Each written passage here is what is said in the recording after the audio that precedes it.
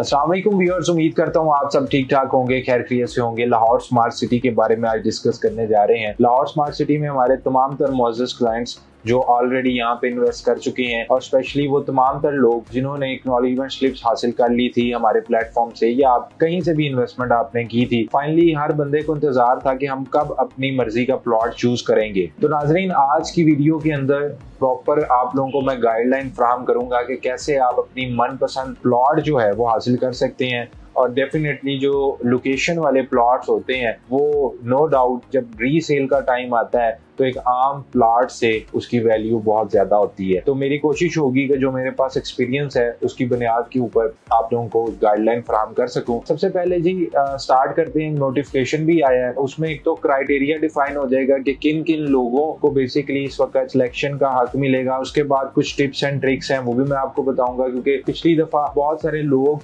अल्हम्दुलिल्लाह, जिन्होंने हमारे थ्रू इन्वेस्ट किया था, हमारे साथ तो वो रास्ते में थे। लेकिन कुछ लोग जो कि इंडिपेंडेंटली जिन्होंने इन्वेस्ट किया हुआ था उनको बड़ी प्रॉब्लम आई थी तो मैंने सोचा कि आज की वीडियो में वो तमाम तर चीज़ें भी शेयर करूँ ताकि तमाम लोगों के लिए आसानी हो सके। तो नाजिन सबसे पहले नोटिफिकेशन आप देख सकते हैं स्क्रीन के ऊपर। इसमें जी लाहौर स्मार्ट सिटी आप लोगों को बता रहा है कि सबसे पहले पोजेशन का ज़िक्र किया गया है। Lahore smart city is developing at very fast pace we have already given the possession of overseas prime and soon, inshallah, we will be announcing the possession of overseas sector a, b and executive sector A and B तो इसमें जी बताया ये जा रहा है कि overseas prime का हमने कब्जा दे दिया है और सोन जो है वो हम ओवरसीज सेक्टर ए का बी का एग्जेक्टिव सेक्टर ए बी का कब्जा दे देंगे। इसके अलावा जो आज की बात हम डिस्कस कर रहे हैं, उसका भी ज़िक्र है कि जो सेकेंड बैलेटिंग है will start from twenty second of January two thousand twenty four और जनाब ग्यारह बजे पाकिस्तान टाइम के। अगर आप ओवरसीज हैं, ये याद रखें, आपने पाकिस्तानी टाइम को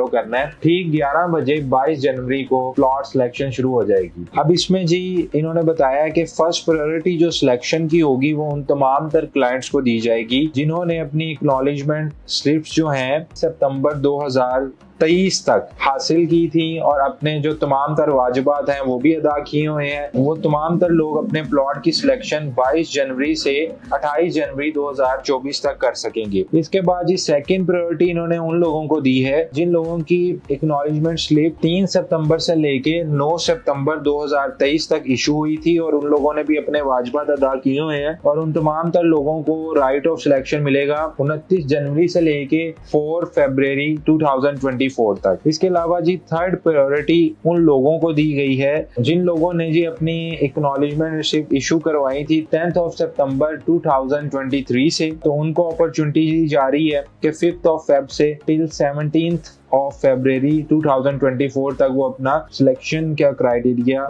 हासिल कर सकते हैं। इसके अलावा जी, इसमें ये भी बताया गया है कि the above mention priority criteria are for residential plots यानी कि five marla seven ten twelve और ट्वेंटी मरला के रेजिडेंशियल प्लॉट्स इसमें कमर्शियल प्लॉट्स भी इंक्लूड हैं, जिसमें two point six six four six और एट मरला कमर्शियल इसके अलावा उन्होंने बताया कि साढ़े तीन मरला के प्लॉट जो हैं, वो अभी इसमें अनाउंस नहीं किए गए, क्योंकि उनकी साढ़े तीन मरला की जो टाउन प्लानिंग है, वो अभी फाइनल स्टेजेस के ऊपर है तो डेफिनेटली उसका भी मैप तैयार नहीं हुआ तो वो इस बैलेट में शामिल नहीं होंगे। तो नाजरीन, ये तो आ गया क्राइटेरिया अब आप लोगों ने देखना है कि आपने कब एक्नॉलेजमेंट स्लिप हासिल की थी और उसके अगेंस्ट आपका नंबर कब आ रहा है। इसके अलावा मैं आप लोगों को स्ट्रॉन्गली रिकमेंड करूँगा कि आप लोग ये मत सोचिएगा कि आप लोग स्मार्ट सिटी के ऑफ़िस जाएँ और स्मार्ट सिटी के ऑफ़िस जाके लाइनों में लगे और उसके बाद आपको राइट ऑफ़ सिलेक्शन मिलेगा।